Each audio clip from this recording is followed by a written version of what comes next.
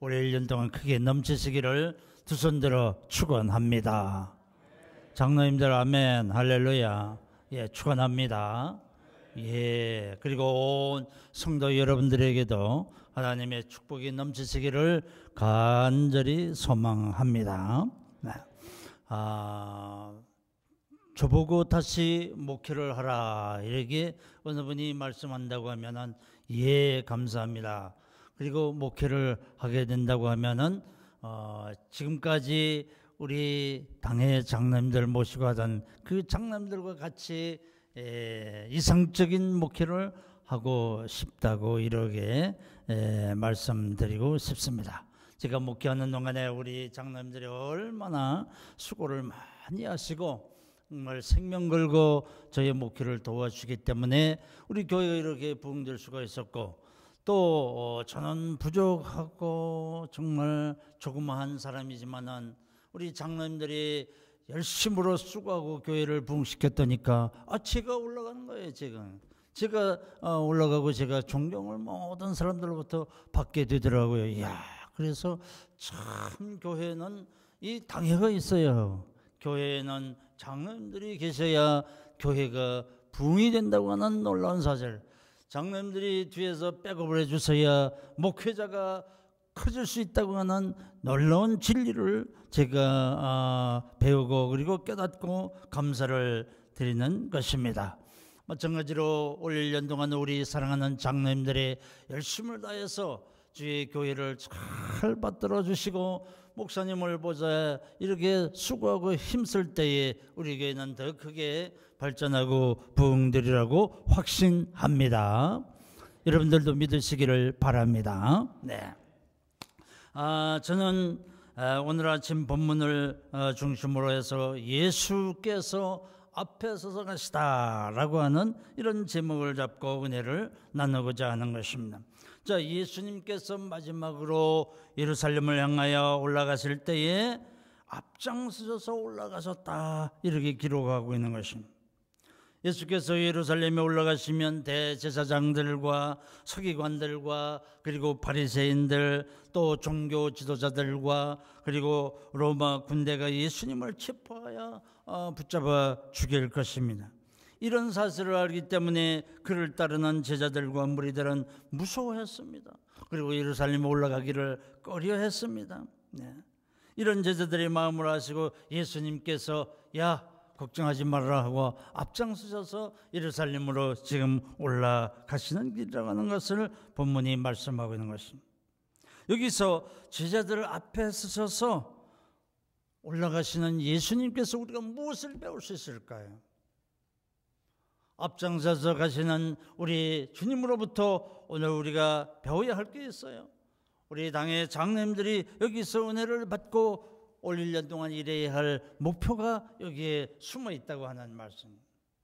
무슨 첫째로 선구자적인 예수님의 모습을 여기서 보게 되는 것입니다. 세상의 모든 고통, 인간들의 고통을 짊어지 가시는 예수님의 그 모습을 여기서 보게 되고 그리고 슬픔과 고통과 수고로 고생하고 있는 모든 인간들에게 위로자 되시는 예수님의 위로의 모습을 우리가 발견하게 되는 것입니다. 이 세상의 모든 인간들의 문제들을 짊어지고 가시는 예수님, 그리고 그 문제를 해결해 주시는 해결자로서의 예수님의 모습을 우리가 여기서 보아야 하는 것입니다. 자, 여기서 앞장선다고 하는 것은 선고자가 되는 것이고 모범자가 되는 행위를 얘기하는 것입니다. 방패막이가 되는 용기를 여기서 말하는 것입니다. 좋은 일일 때는 신이 나고 말이죠. 네. 백번 감사해야 할 일이지만은 그게 아니고 오늘 지금 예루살렘 올라가시는 예수님과 그의 일행들의 모습을 보면 그들에게 붙잡혀서 순환을 당할 것이고 그 무서운 십자가를 지게 될 것이고 이 고통의 길, 죽음의 길에 올라같이 올라같이 올라가는 제자들은 더욱 힘들어하고 무서워하고 그리고 두려워하고 그리고 어려운 길이라고 하는 사실을 여기서 발견하게 되는 것입니다. 여러분 앞장선다고 하는 것은 바람을 가장 많이 받기 때문에 우리는 바람막이라고 이렇게 얘기를 하는 것입니다. 대개 앞장설 때는 희생이 따르기 마련이기 때문에 어느 사람들이고 앞장서려고 하지를 아니하고 그냥 뒤로 쳐져서 슬슬 따라가기를 원하는 것입니다. 그렇죠? 어느 단체든 어느 사회든 나가서 교회 우리 장로님이든 우리 모든 평신도들 간에 이렇게 뒤로 쳐진다고 하면 앞장서지를 아니하려고 하고 주의 일에 솔선수범하려고 하지 아니하고 그저 남이 하는 대로 따라간다고 하고 뒤에서 슬슬 구경하면서 따라간다고 하면은 그 사회가 발전되겠습니까? 그 단체가 발전되겠습니까? 그 교회가 부흥이 되겠습니까? 음. 부흥을 바랄 수가 없는 것입니다. 한 나라의 역사를 보아도요, 앞장서서 옳은 고난의 길을 헤쳐오고 생명을 바쳐서 일한 사람들, 선구자들이 있어야 하기 때문에 나라가 아, 발전할 수가 있었고 번영할 수가 있었다고 하는 사실인 것입니다. 한 나라에 정말로 이렇게 생명 걸고 일한 그러한 일꾼들이 계셨기 때문에 나라가 든든하게 설 수가 있었다고 하는 사실인 것입니다. 여러분, 육군 보병 전투에서 가장 많이 이제 예? 죽는 병사가 누구인지 아십니까? 누가 가장 많이 죽지요? 그건 다른 것이 아니라 소위 계급장을 단 초급 장교들이 가장 많이 죽는다고 하는 것입니다. 왜 그럴까요? 이 초급 장교들은 맨 앞에 서서 모든 어, 부하들을 거느리고 지금 전진하고 앞장서서 예? 총탄이 밑발처럼 오는 그 전쟁터에서 앞장서서 예, 그들을 보호하면서 지금 전투에 임하기 때문에 제일 많이 죽는다고 하는 것입니다. 그래서 이 소위들을 뭐라고 그래? 총알바지라고 그러는 거 아닙니까? 예. 예. 총알바지가 있어야 앞에 서서 총을 맞아 죽는 사람이 있어야 리더하는 사람이 있어야 그 전투가 승리할 수가 있다고 하는 말인 말씀인 것입니다. 여러분 가을 하늘을 날아가는 기러기를 보시기를 바랍니다. 기러기가 날아갈 때 어떻게 날아가죠? 이 V자형으로 날아가는 V자형. 그냥 이 V자를 만드는 이유가 뭐냐? 그것을 연구해 보니까 다른 것이 아니라 이 앞에서 날아가는 기러기들이 막 날개짓을 하면서 기류를 이렇게 그냥 어, 변화시켜 주는 거예요. 그러면 뒤에 따라오는 기러기들이 그 기류의 변화에 따라서 아주 편하게 날아갈 수가 있다고 하는 거예요. 날아갈 때. 따라서 앞장서서 날아가는 기러기나 혜택도 받지 못하면서 가장 힘든 자리, 예, 가장 힘든 자리. 맨 앞에서 다가오는 바람과 기류를 막아서 이렇게 날개짓을 하려고 하냐 얼마나 많이 피곤하고 힘들겠습니까? 음. 그래서 이 기러기들은 계속 날아가면서 혼자서 날아가는 것이 아니라 자리를 바꾸어 가지고 뒤에 오던 사람이 앞에 가고 아, 뒤에 오는 기러기가 앞에 가고 또 날아가다가 어, 앞에 가는 기러기가 피곤하면 또 뒤로 물러나고 또 뒤에 따라오던 기러기가 또 아, 앞장서서 길을 헤치면서 나가는 그런 놀란 모습을 보게 되는 계속 자리를 바꾸어서 힘든 선두주자의 짐을 나누어지게 되는 네. 나누어지게 되는 우리는 이렇게 정말 조그만 미물 속에서도 놀라운 교훈을 우리가 받아야 할 줄 믿는 것입니다. 앞에 서서 간다고 하는 것은 정말로 이 선구자적인 모든 그러한 아, 짐을 짊어지고 가시는 예수님의 모습에서 우리 사랑하는 당의 장로님 여러분들은 이제 우리 교회 모든 작은 일, 큰 일, 어려운 문제, 힘든 문제, 네. 남들이 지기 싫어하는 이러한 여러 가지 어려운 문제들을 내가 솔선해서 짊어지고 내가 선구자적인 그런 신앙의 자세를 가지고 나가야 할 줄 믿습니다. 그럴 때에 우리 교회는 크게 붕되는 역사가 일어날 줄 확신합니다. 네. 두 번째로 앞장서서 가신다고 하는 이 말씀 속에는 예수님의 용기 있는 특별한 사명을 우리가 발견할 수가 있는 것입니다. 예수님은 죽음이 도사리고 있는 예루살렘을 향하여 제자들 앞에 서서 올라가실 수 있었던 것은 내가 예루살렘을 올라가서 십자가에 못 박히고 인류를 구원하는 것이 곧 하나님께서 기뻐하시고 바라시는 놀라운 뜻이고 이 뜻을 내가 이루어드리는 것이 나의 사명이다. 내 일이다. 내 미션이다. 이렇게 생각을 하셨기 때문에 그는 당당히 앞장서서 예루살렘 향하여 올라가셨던 것입니다. 죽음이 자기에게 다가오는 것도 아시면서 그걸 제자들에게 말씀해 주시면서 올라가셨다고 하는 것입니다. 예수님은 제자들에게 내가 이 사명을 위해서 이 땅에 내가 왔다. 인간으로 왔다. 이것이 아버지께서 주신 미션이라고 하는 사실을 그의 삶 속에서 제자들을 훈련시켰을 때 누누이 말씀하시고 그것을 주지시켰었던 것이라고 하는 것입니다. 이 사실이 중요하다고 하는 것입니다. 이 사명 때문에 예수님은 죽음도 겁나지 아니하시고 앞장서서 올라가셨다고 하는 것입니다. 네. 우리는 구약의 엘라골적에서의 전투 이야기를 잘 합니다. 네. 엘라골적에서 일어났던 전투 이야기, 소년 다윗이 이스라엘 군대의 대열에 제일 앞장서서 싸운 유명한 이야기가 엘라 전투 이야기인 것입니다. 적군 블레셋의 대열에 가장 앞장선 거인 골리앗 앞에 사울 왕도 어쩔 줄 모르고 모든 이스라엘 군인들이 쩔쩔매고 무서워하면서 그냥 자꾸 뒤로 그냥 도망가려고 하는 것입니다. 아무도 나가서 내가 싸워보겠다고 이렇게 자원해서 앞장설 사람이 한 사람도 없던 것이. 모두가 다 조용하게 이러한 어려운 난관을 어떻게 할 것인가 모두 다 보고 있는 것입니다. 이런 안타까운 상황에 처했을 때 소년 다윗이 아버지 심부름으로 형님들의 안부를 알려고 그 전투 현장에 나갔다가 이 엄청난 놀라운 사실을 지금 목도하고 있는 것입니다. 블레셋의 장군이 나와가지고 뭐라고 얘기합니까? 이스라엘과 하나님을 모독하는 그러한 막막말을 하는 것을 보게 되는 것입니다. 네. 하나님이 어디 있느냐고 너희 하나님은 죽었다고 이번 전쟁은 우리에게 승리가 돌아왔다고 막 이렇게 하나님을 막 없인 여기고 모욕하는 이 엄청난 그러한 그 불경스러운 어, 말을 보고 말이에요. 네? 다윗이 의분을 느끼는 것입니다. 의분을. 아니 저런 놈이 어디 있는 저런 놈이. 전능하신 하나님을 모독하고 하나님을 욕하고 말이에요. 네. 저렇게 못된 짓 하는 저런 나쁜 놈이 어딨냐. 이거 안 되겠구나. 내가 나가야겠구나. 이 어린 다윗이 자기 신분도 모르고 자기가 나가려고 준비를 하고 있는 겁니다. 용기를 내서 내가 나가야겠다.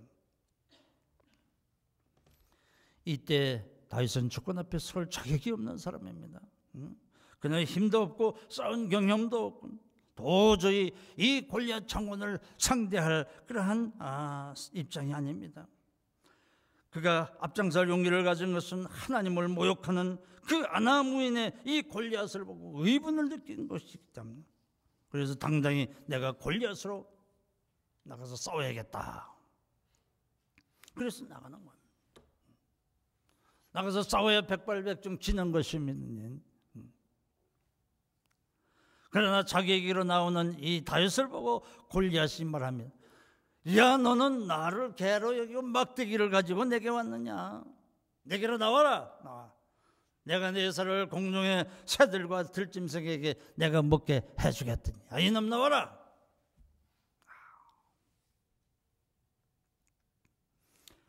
소년 다윗이 골리앗과 이 싸우기 전에 말씨름하는 그, 그 말이 거기 우리 쭉 나오는데 그걸 보면은요 아 김정은이와 어?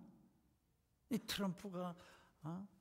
서로 그냥 말씨름하고 막말하는 그런 말이 생각이 나는 거예요. 김정은은 트럼프를 뭐라고 얘기했습니까? 에, 늑다리 에? 전쟁 상인이라고 얘기해요. 아, 전쟁 상인.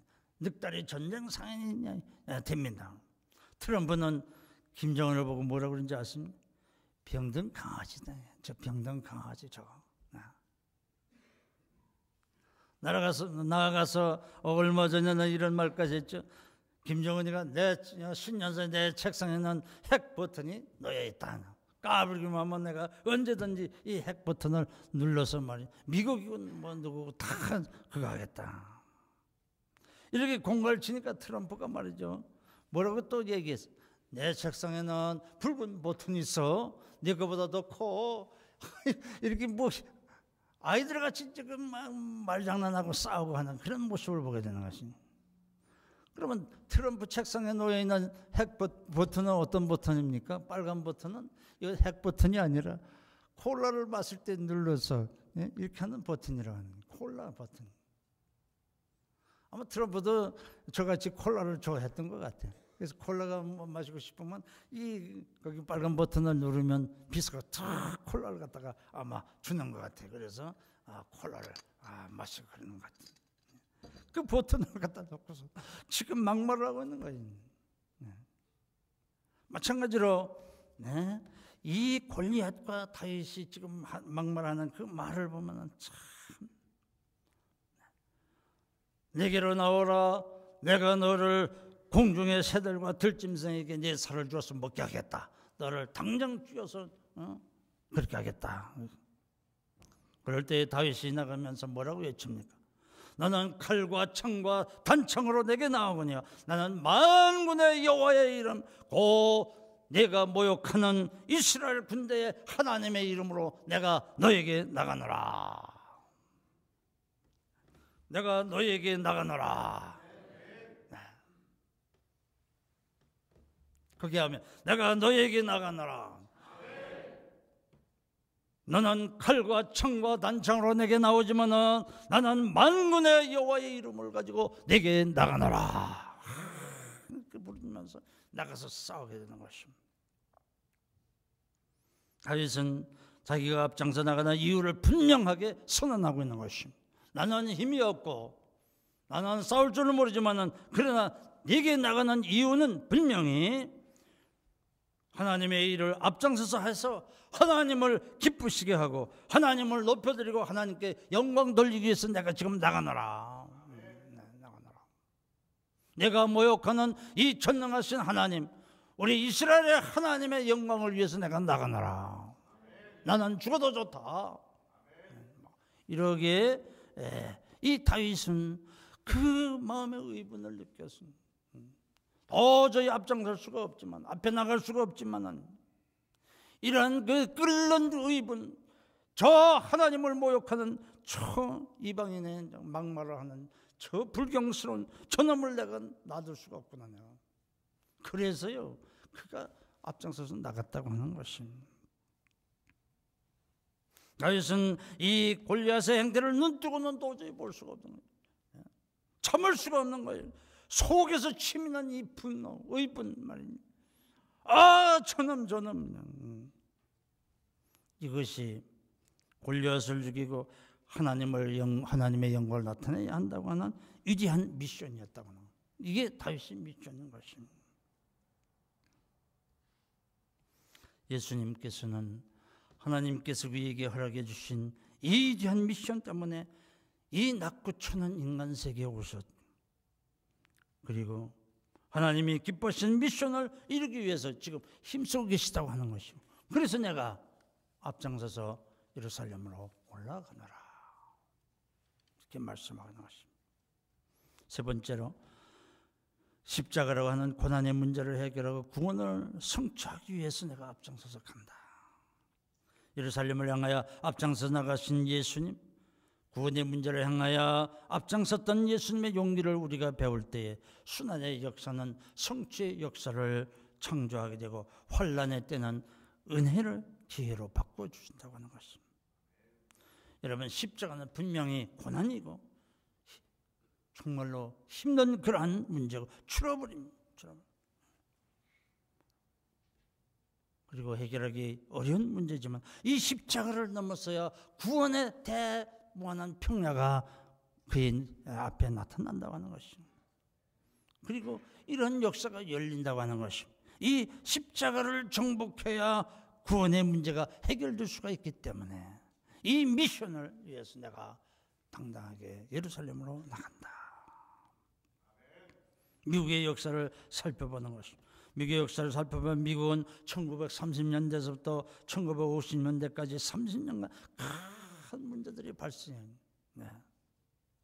세계 제2차 어, 대전이 일어났고 어, 1930년대는 경제 공황이 일어나 미국이 막 야단했습니다.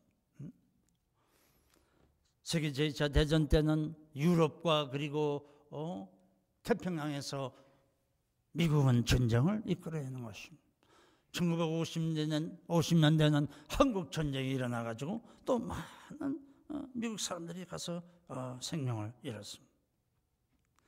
이렇게 국민들이 힘들어하는 시기 문제가 문제가 연속으로 일어나 처리하기도 힘들고 어떻게 해야 할지도 힘든 그때에 이 어려운 30년간 미국의 교회들은 놀란 변화를 일으켰다고 하는 것입니다.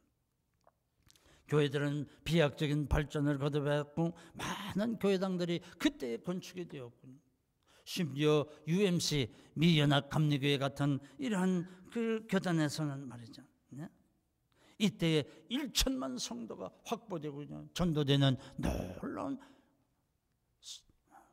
발전의 기회, 부흥의 기회가 일어났다고 하는 것입니다. 이게 왜 내린 것입니까? 미국이 가장 힘들하고 어려운 한때 전쟁이 일어나가지고 막 야단하는데 젊은이들은 전쟁을 반대해서 모두가 다 히피가 되고 말이네. 대학을 아, 뛰쳐나가서 바닷가에 가서 해석이나 하고 말이죠. 이렇게 그냥 국민적인 어려움 넘치는 그런 때에 교회는 부흥이 되었다고 하는 것입니다. 교회들이 다 그때 건축이 이루어졌다고 하는 사실인 것입니다. 기적이 일어났다고 하는 것입니다. 고난의 시기에 백성들은 하나님을 원했던 것입니다. 하나님의 자비의 손길을 그들이 원했던 것이고 세상으로 뛰쳐나가던 사람들이 전부 교회로 모였다고 하는 것입니다. 그래서 이런 놀란 붕의 기적이 일어날 수가 있었던 것입니다. 미국의 존슨 대통령이 이런 말을 했습니다. 여러분 모든 문제가 해결되어야만 한다고 하면 성취될 일 하나도 없다고 그랬습니다. 음. 문제가 있기 때문에 성취가 있게 되고 성취가 이루어지는 것이고 어려움이 없었다고 하면 구태여 그것을 성취했다고 말할 이유는 없을 것인 것입니다. 예수님은 이 인류 구원의 성취를 위해서 그 어려운 십자가, 그 어려운 문제,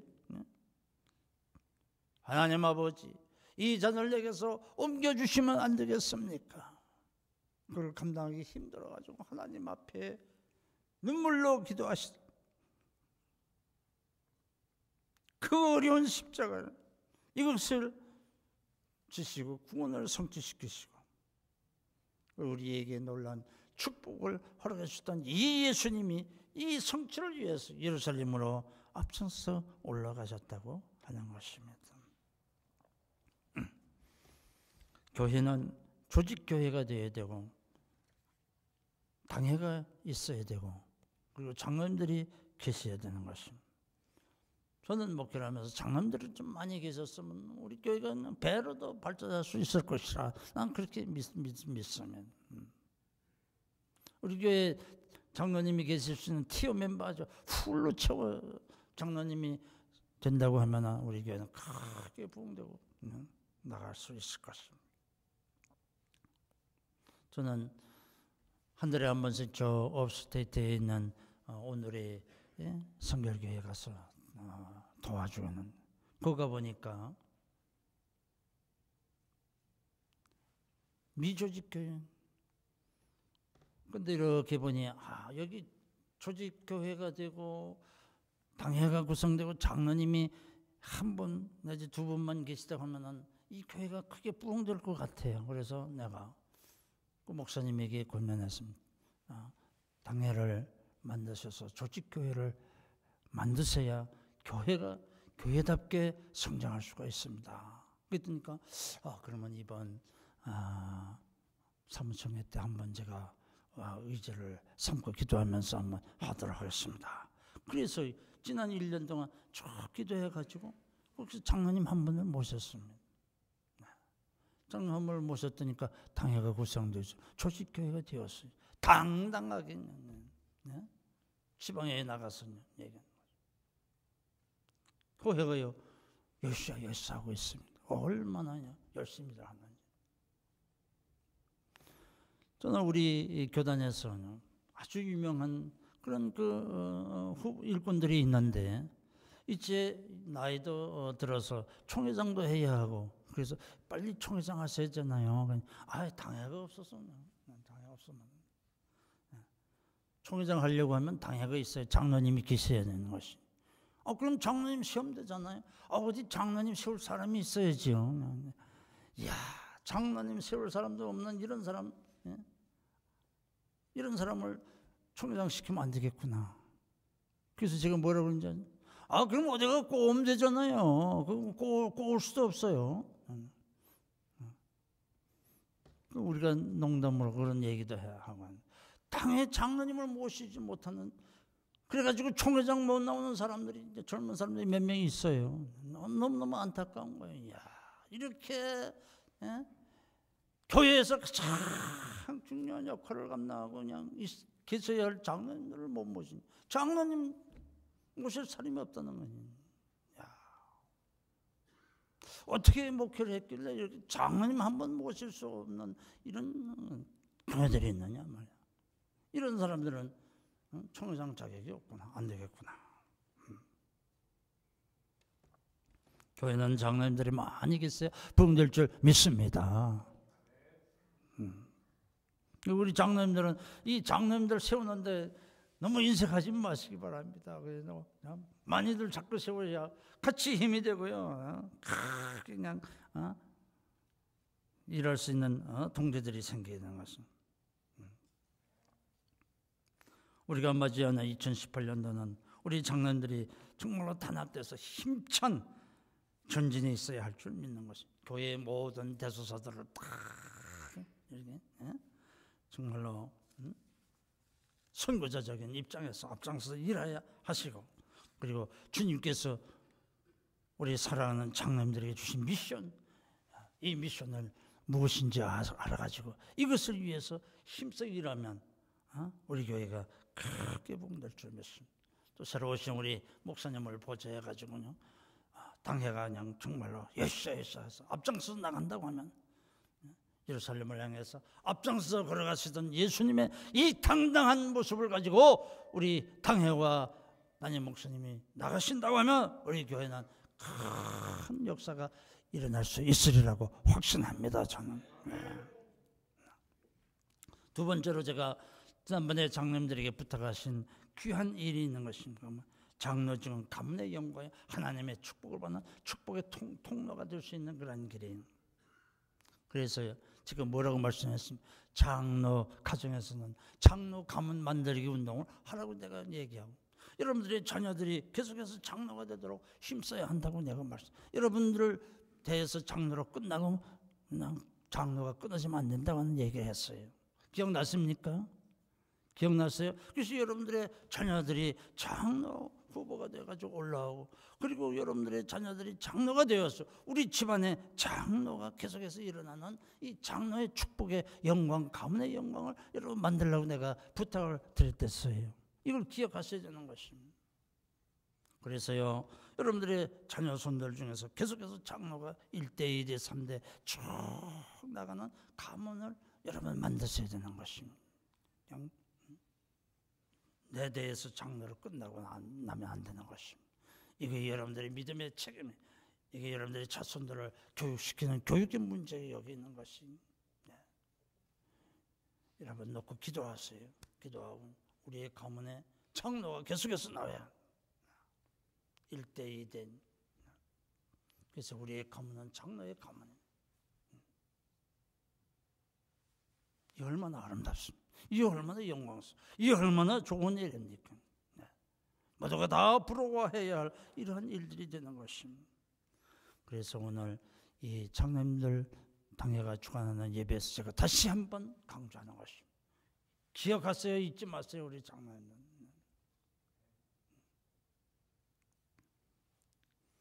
오늘 예루살렘에 갔을 때에 제자들 앞에 서서 두려움과 걱정과 근심을 다 제쳐버려요. 당당하게. 예루살렘에 올라가시는 예수님의 모습에서 우리는 선구자적인 이러한 모습을 보고 나는 교회의 큰일 굳은 일, 좋은 일, 힘든 일 아무도 알아주지 않는 일을 위해서 내가 선구자적인 그런 사명을 가지고 내가 일하느냐 생각하시기를 바랍니다.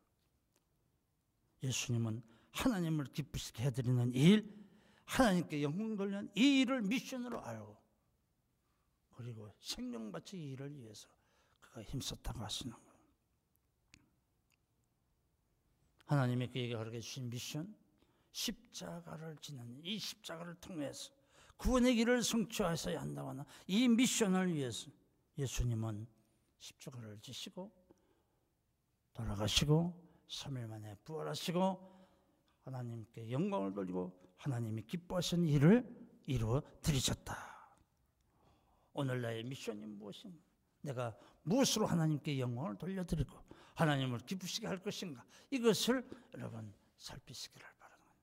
우리 장로님들이 이런 세 가지 일을 잘 마음에 드셔서 이 일을 위해서 올 1년 동안 힘차게 힘차게 수고하시기를 주님의 이름으로 축원합니다. 기도하겠습니다. 하나님 참 감사합니다. 우리에게 2018년에 새로운 역사의 해를 허락해 주셨습니다. 하나님, 올해는 우리 교회가 갑절로 봉하는 은혜의 축복의 기회가 되게 하옵소서. 새로운 목사님을 모시고 우리 당회가 하나가 되어서 일치 단결해서 기도의 영역을 일으키, 기도의 역사를 일으키고 예수님과 같이 당당하게 십자가를 향해서 예루살렘을 향하여 전진하는 아름다운 모습을 허락하옵소서. 예수님 이름으로 간절히 기도하옵나이다. 아멘. 시간에는 우리 찬송가 50장 드리면서 헌신을 어, 다짐하는 헌금을 드리는 순서를 갖도록 하겠습니다.